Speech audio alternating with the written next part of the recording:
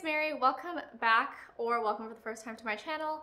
Um, right now, this is sort of like a catch-all channel where I discuss all the things I wish someone had put on the internet uh, to make your decision-making process or your life better. Today we're talking about college. For my personal experience, I did two years at NYU undergrad and then I finished my undergrad at Harvard where I ended up studying computer science and philosophy. I've already made a video about transferring. I've already made a video about NYU. Now we're going to talk about Harvard and we're going to use this uh, comprehensive framework essentially about I think everything you would maybe want to know, which includes financial aid, location, academics, social life, extracurriculars, working on campus, dorms and food, studying abroad, school spirit, career support, as well as what I deem like cultural values of Harvard. Now, as a reminder, this is totally my experience and like one person's experience, and that is all I can speak to but hopefully it'll be somewhat useful in helping you figure out like what does an average cultural thing or what does it kind of look like to be a student at Harvard. Okay, beginning with financial aid, arguably Harvard has like the best financial aid in the world. I think that's like a fairly reasonable claim. Um, more than, I read on their website, more than 55% of their students are on some sort of financial aid or they receive some sort of scholarship and then parents who make less than $65,000 as a household, which is 20% of the population, get to go for free. Um, one of the other really cool things, which I did not know as an international student, is that the financial aid applies to you as an international student as well. You're not disadvantaged for being international. So all in all, A plus, Harvard's really good about that. I wish more people knew that um, these like really top tier schools or whatever are not just like super expensive to attend. They actually make it really affordable for you to be able to attend. In terms of location, Harvard is located, or Harvard's campus is located in Cambridge, which is about 20 minutes away from Boston. You can take a T, which is like their metro, and it's very, very convenient. It's also very close to MIT, probably a 10 minute drive away, but it is actually um, somewhat of a bubble, or you can think of it as like a small town that is its own thing and is very much dominated by Harvard being in this environment has certain pros and cons from like a location and size perspective. Um, I think some of the pros include the fact that there are more things to do than you would think. So it's not super duper isolated. You can have shops, restaurants, you can go in to Boston if you're interested.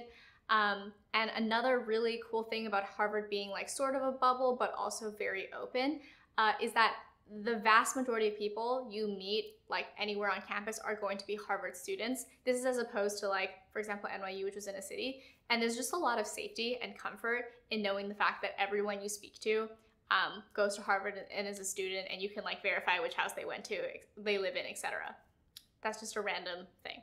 Um, and then in terms of cons, I would say being like a medium sized small town thing, some of the cons include, well, you don't have access to a ton of things, um, and it's also small enough such that your it's easy for your reputation to precede you, or there can be a little bit more gossip than you would experience in a really, really big school, just because it is a smaller location and is more contained of like student body. Now we are going through academics and we're going to cover the quality of teaching, the flexibility of your schedule, as well as course availability. Um, like with any school, the quality of teaching really varies based on the professor. You'll learn just by talking to people what are good and bad classes. Um, you can find lots and lots of classes, particularly in the humanities and social sciences, that are very small, like 10 ish people ish. And then you have big lecture classes as well. Uh, but yeah, the key takeaway I've learned in college is like, without a doubt, go with the best professors. Um, good professors teaching pretty much anything is interesting. Bad professors teaching pretty much anything is uninteresting. Um, so yeah, in terms of like who the TAs and uh, we also have course assistants are at Harvard, uh, in the humanities and the social sciences, they tend to be PhD students or master students. Um, in the STEM fields, they tend to be undergrads which I think is a little bit unique and like kind of has a weird quality to it, but it's kind of cool having your peers teach you. It's also kind of weird having your peers teach you. But yeah, that is the case at Harvard undergrad. Um, in terms of schedule flexibility, by and large, I think Harvard has a very flexible schedule. Even when there are things that you are required to do, like a certain number of gen eds or general education classes, you can still pick which gen eds out of like many, many options you want to take. And then, for example, the basic computer science degree, at least when I took it, was only 10 classes that you mandatorily needed for your degree. And then afterwards, you had like a lot of flexibility to take options within and outside of your major. It's also pretty easy to do things across departments. In fact, I found it to be extremely easy to do things across departments. Um, they weren't very siloed.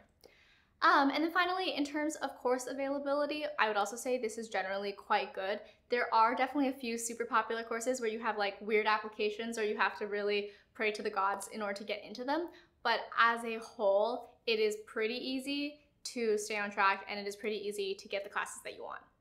In terms of the social life at Harvard, um, I've broken it down into various sections, and this is always a really fun part to talk about. We're going to talk about the size, the student body composition, Greek life, making friends, and partying at Harvard.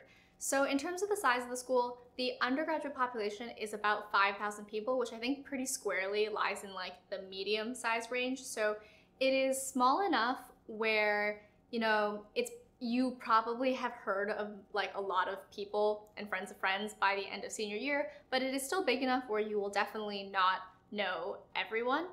Um, in terms of the student body composition, like just a few things to note. These are the same things I tried to separate out in the NYU video. Um, in terms of international students, it's not a super high population. I think it's like something like 10%. Uh, it's by and large like domestic students.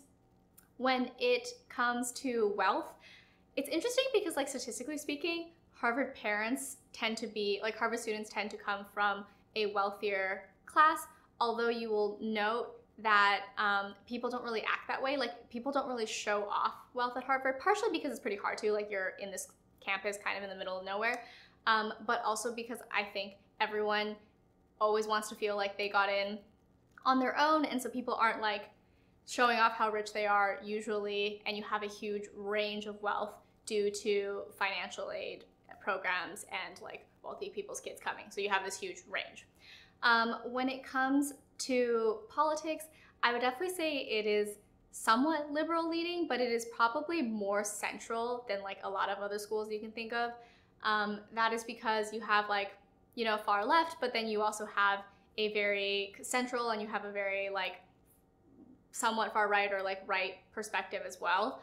Um, so yeah, in pretty much every facet, I think Harvard has quite a bit of diversity when it comes to like the composition of the student body, though it definitely leans in certain ways. When it comes to Greek life, there are sororities and fraternities in the traditional sense, but they mostly, from what I remember, don't own property, and as a result, they don't like dominate social life the way that they do for a lot of other schools. However, Harvard has this thing called final clubs, which is very particular. You can Google it. There's like a lot of controversy around them. Um, and you can think of them essentially as like sororities or fraternities, but they do have a very big influence on the social life at Harvard. Why is that? Well, because it's there's no well one you can't like get you can get carded very easily in um, Boston clubs and stuff, and so if you're underage, you can't go to like a club in Boston. Um, also, in terms of Harvard Square or like Harvard's campus, there is no club on campus. So where are people going to have social lives? Well, yeah, you can have social lives in like dorms and stuff like that, but if you want to throw a big party, you have to go to people who have houses and the only people who have houses are the male social clubs. So you can see why they would uh, play an important role in the social life. You can read about them. There's like, it's complicated. You know, there's like lots of pros and cons. It's just something to note that's particular about Harvard's social life.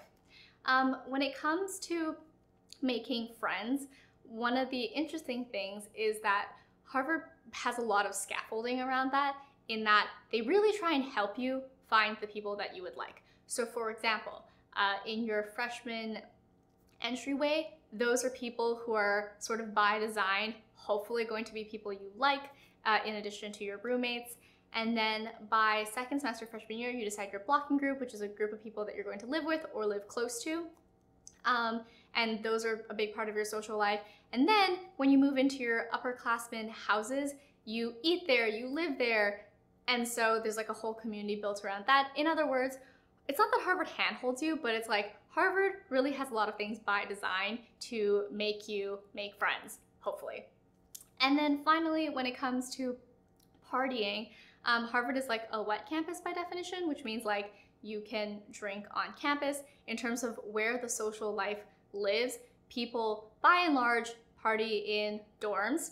Um, yup. And then every once in a while, you know, they party in final club houses, but it's not super common for people to go into the city like Boston. Um, and it is by no means a partying school. If on a Friday and Saturday night you are studying, you will be in the majority. Um, yeah, that's, yeah. In terms of extracurriculars at Harvard, there are a lot of options, although they are very disaggregated. And so there's no like there's no good central repository to figure out what clubs you want to join.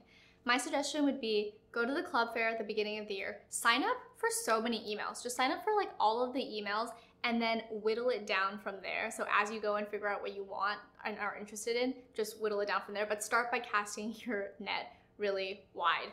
Um, one of the odd qualities about clubs at Harvard that I have not experienced elsewhere is that everyone has a leadership title. And so to be part of the club, you have to be doing something. You're like the director of finance or you're the people manager or whatever. Versus in some schools where you have like the leadership and then you have members. At Harvard, the members are all leadership. I don't know why. That's just like one of the qualities I've generally observed. Um, one thing to note is that I actually didn't write this down, but I really want to talk about it and I'll talk about it later, which is like exclusivity is like one of the core tenets of Harvard. And so getting access to some extracurriculars is really difficult. Others are really open. That's just something to note, and I'll talk about it later. And then finally, in terms of sports, Harvard is not a sports school in the sense that like it's not like everyone at the school really cares about sports. Um, the only game that everybody attends or that most people attend is Harvard Yale, which is the big football game every single year. Um, but sports are not like a huge part of Harvard's culture. With that being said, people who are recruited to be on sports teams or people who join sports teams build a lot of social life around that. Um, and we have, I think, like good or some good teams. Um, but yeah, it's not like a huge, huge thing. I was not a part of them, so I'm just observing from the outside. In terms of working while on campus, it's pretty common. I would say like the majority of people will hold a job during their time on campus. Um, in terms of on-campus employment, there's quite a lot of variety. Uh, you have a pretty common problem, which is like it tends to be people who need to have jobs will get a job on campus versus other people have the option not to. With that being said, um, it is very common for people to be like CAs and like RAs and TAs and whatever for classes. Uh, in other words, a lot of people will work on campus at some point during their time. In terms of off-campus internships and employment, it's definitely a thing, but it is not a huge emphasis of the school as in you can perfectly like just be a student and not work off campus and that's considered very acceptable as well. In terms of dorms and food, now I can only speak to the upperclassmen houses because I transferred.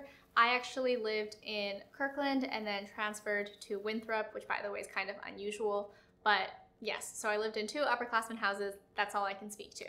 Um, in terms of like what happens uh, as a Harvard student. So you get put into a freshman um, entryway and you'll live in one place and you will have roommates that are hopefully like matched to you. By the end of freshman year, you'll have decided on your blocking group, which is people you want to live with, both as roommates and then people who you want to live nearby. And then at the end of freshman year, you get lotteried into one of the upperclassmen houses. Um, what's interesting is a lot of your life uh, is based on like which house you end up at in. And by the way, most people will end up in the same house from sophomore through senior year. One of the really interesting like cultural pieces of this is that your a lot of your life is around your dorm. So for example, you there's like a certain time that food is available and you are generally you generally eat with your like house. You can eat at other houses during other like during some times, but people often eat at their house. And as a result, there's a lot of like communal dining culture. Also, it's a really interesting like wealth equalizer because the culture is not to say like, oh, let's go get coffee at a coffee shop or oh, let's go get dinner somewhere. The vast, vast, vast, vast, vast majority of people for all four years live on campus and therefore will live in one of these like upperclassmen houses and therefore will be able to go to a dining hall with you for no cost in the sense that, yeah, like money doesn't determine your social life really, like which house you live in determines your social life. Um, and then in terms of the food, I mean, it's like fine. Uh, it's not like horrible. It's not amazing. Harvard has a lot of events um, throughout the year in which you can get access to like better food as well as clubs get access to better foods. But yeah, it's like very boring.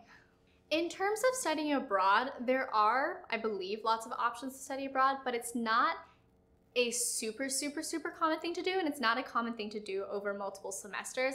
I think that's because people feel like it was hard enough to get here, like, what do you mean I'm going to leave? Um, with that being said, there are a lot of good travel stipends, travel opportunities, and travel grants. That's both just like random travel stipends, that's opportunities through clubs that will go to other countries, and even after you graduate, there's like travel grants that you can apply to. Oh, and if you're writing a thesis, being able to travel for your thesis is like quite easy. In terms of school spirit, I would say Harvard school spirit is pretty high. Like one of the heuristics is that people will wear, maybe this is just because we're, we're lazy, but people will wear like Harvard gear as the uniform around campus.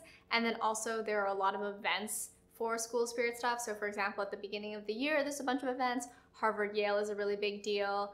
Um, then there's like Yard Fest, which is an all school event, as well as every house will host like formals and stuff like that. So yeah, I would say overall Harvard has like pretty high school spirit. In terms of career support, I would say Harvard is quite good at this. Um, between like your friends and your social groups who will be a big supporter of you and the school's official resources, you're pretty well covered.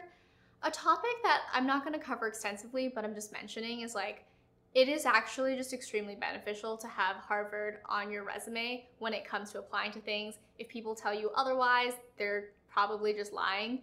Um, and it's not fair, but the benefit of having Harvard on your resume is that people will give you the benefit of the doubt. And the question is like, who do you give benefit of the doubt to? And so that's a privilege you get by going to that school. Okay, in this last section, we're gonna go through three cultural values that I have observed about Harvard. And as a reminder, everything I say is totally my own opinion and totally my own experience. The first is that Harvard is quite exclusive as a culture in the sense that one, it is hard enough to get in, but once you are in, um, people want to feel exclusive in a variety of other ways. And so getting into certain clubs is really difficult um, getting into certain social scenes is really difficult. This isn't always true. There are lots of open things, but I was surprised when I went that after you were accepted, there was still so much exclusivity in like as a cultural value. Um, another cultural value is that I think there are actually quite a few guardrails at Harvard in that, I mean, you can definitely choose your own path and like make your own adventure, but there's also a lot of like safety nets for getting a degree and, you know, like getting a career and things like that. So if you want a school that has a little bit more support in that sense, Harvard's a really good one for that. And then finally, um, a lesson I learned from Harvard people, not necessarily the school, but from Harvard students, is I think a lot of them really embody this idea that you can be multiple things, very multifaceted, and be incredible and passionate about all of them. Like you'll find a lot of people who are passionate about like very odd things, like really good at poker, but also really good at physics, or really loves computer science and does a lot of art. Um, that cross pollination of ideas and things is, is really amazing. Actually, the diversity from an academic and like academic interest perspective is so high because even the most popular majors like government, like computer science, like psychology, etc., do not make up a majority of the population. Every popular major is only like a plurality. Um, and as a result, it's not as if the school is dominated by like CS people or dominated by finance people or dominated by arts people. Um, there's a lot of diversity in that way. Okay, final thoughts. So as a reminder, all of these opinions are my own and my own experience, but I hope that this was a pretty comprehensive overview of what it was like when I was a student attending Harvard. I'd love to see other people do this because I think it would cover a lot of topics and would have been really useful when I was looking at schools. And then as per usual, if you have any questions or comments or suggestions or anything like that, feel free to leave them in the comment section because um, they give me a lot of awesome ideas and I really appreciate it. See you in my next video.